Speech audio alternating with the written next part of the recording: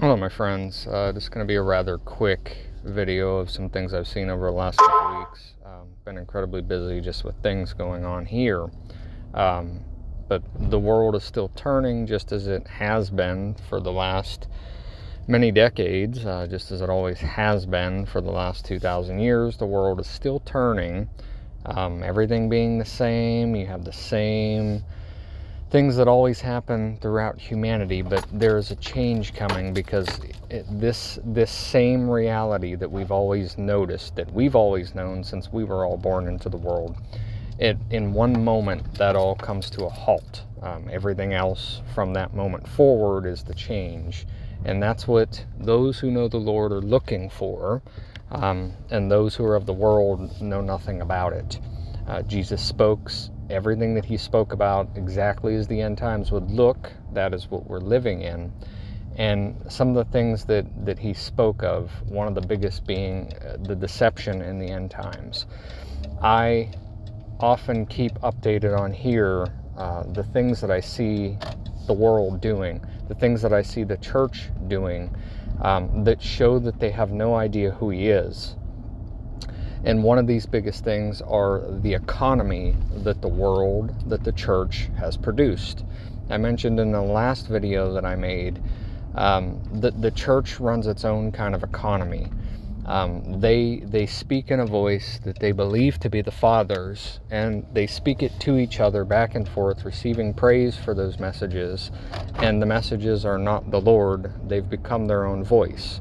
Well, the world has done exactly the same thing, and both the church and the world have united to a certain extent um, with certain things, such as believing that there's going to be a way out of what's coming other than by the Lord.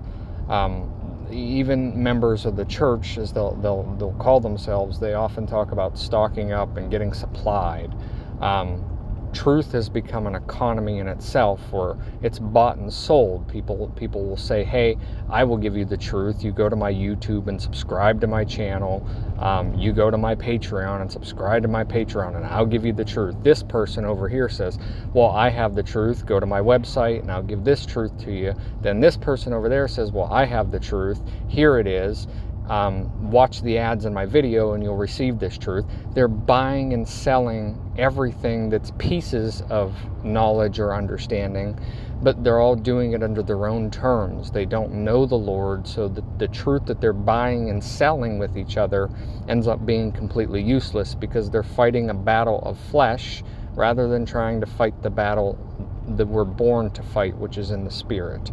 The flesh worries and has concerns about these things is the spirit knows the truth. It doesn't need to go searching and buying and selling it. It doesn't live in the same economy that the world has built up with truth. We live outside of that. Our knowledge comes directly from the Spirit, from the Lord, and we know that voice. But they all gather together and they're they're talking about, you know, getting prepared and getting stocked up on food and ammunition and get your bunkers ready and all of these kinds of things. And there is not one single thing that any human being on this earth is going to do to prepare them whenever that moment comes that the world stops turning as it always has. Nothing is going to prevent what happens from that point forward because it's not a battle of flesh. It's a battle between God and the devil, and we're the prisoners trapped in between it, and we have to pick a side which one we're going to follow. That's the reality of the end times. It's a battle that we don't fight because it's not our war, it's between God and Satan. But we, being who we are and in the position that we are in, have the ability to be God's children. So, thus, we know our Father, we know that voice, and we run to Him who rescues, as the world will run the opposite way right to their destruction. It is evident that if you read Deuteronomy chapter 28, you can literally see what is happening in the world today. You saw the blessing that the West used to have in chapter 28 outlined in the very first passages, and then you see the curse that's now on the West in the second half of the passages. Talking right about everything with, with what we see happening with monkeypox, for instance. Well, the boils of Egypt breaking out in sores on the body. It's all discussed in Deuteronomy chapter 28 because God the period of grace has or is on its way to end, and thus the law returns to replace the grace. That's why the temple is rebuilt in the times of the end. Once the great tribulations happen, the temple must be built because law returns, and law is the lesser way. It's the way of destruction. Grace is the way of salvation. Grace is the way to the millennial kingdom. Grace is the way to that 1,000 year reign with Christ, being changed being still flesh and blood, but being perfect flesh and blood that doesn't decay or die. That's the millennial run.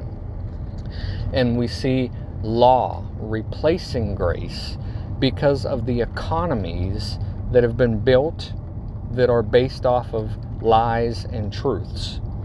They build these economies and they share and they buy and sell information from each other. Do you know all of these YouTubers that you see out there, uh, especially the worldly ones? Do you know what they are? They're gossipers. They're not giving you truth. They're not teaching you anything. They're gossiping about what is happening. And in the end times, what does God say that the men will become? Slanderers, gossipers. And you see it right in front of your very eyes. Everybody that you listen to, they're gossiping they don't even know what's happening because they have no understanding of the Lord. They don't know Him. So, what are they doing in His place? They're making their own voice of the Father and selling it to people who will buy it. And you know who buys these things? People that do not know the Lord because they're trying to search for this knowledge and information that they can't seem to find, but they're willing to pay for it because they know that there's something wrong, but they don't know how to get it because every time they pay for something, they're never fulfilled by it. It's just like somebody who has an insatiable appetite. No matter how much food they buy and set in front of them and they eat it, they never get full. And that's the world that we live in as far as the economy of truth is concerned. There is none out there that you can buy. Right now, the only truth comes and it's free and it's from God. And you will know everybody and everything that you listen to based upon the Spirit, where you don't need to go and ask somebody what you need to buy and sell. And you could say, well, yeah, I'm doing the same thing here. I'm speaking a message. I'm not selling it. I'm communicating what I've been giving and I'm sharing these things so that somebody could hear this and recognize what I say is different from what the other people are all saying. And it, the Lord says that you walk in a narrow path. It makes sense that all of them out there are going to be walking in a broad path even though they think they're in a narrow path because they don't understand just how narrow the path is because they didn't listen to the Lord. They didn't understand that seven people were saved from the flood. They didn't understand that only Lot's immediate family was saved from the fire. So it is in the end time. There is only 144,000 people who are changed in the twinkling of an eye.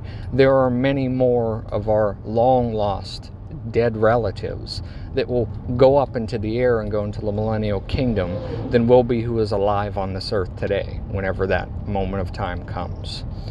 So, my friends, whenever you hear all of these videos, you must listen to them because you must understand what is happening in the world. You're set to be the eyes of the Lord. You who know the Lord are His body.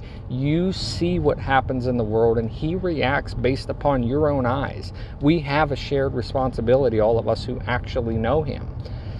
Through us, He understands when it's time to act. He understands what needs to be done through our eyes because we're a combined spirit and flesh.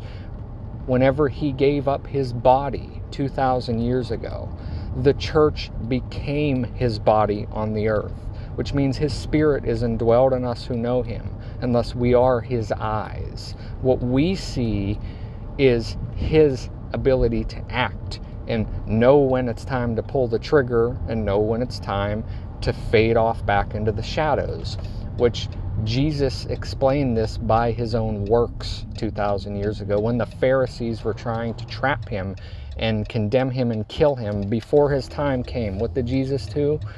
He went off and away, and they were not, eh, not able to find him. It's the same exact thing that the church is doing right now. We are protected and saved until the time comes that we are ready to ascend. So don't let anybody ever tell you with their gossip that you must do this or you must do that to prepare, or here's the truth, I'm going to sell it to you. Go ahead and buy it from me, and you will then know it. Don't let anyone ever tell you any of those things because none of those things are needed for you.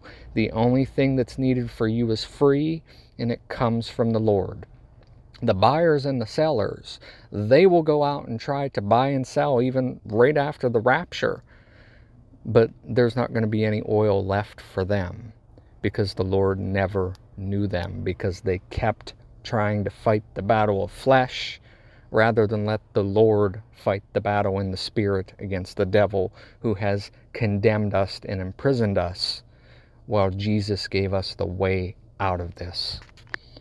God bless.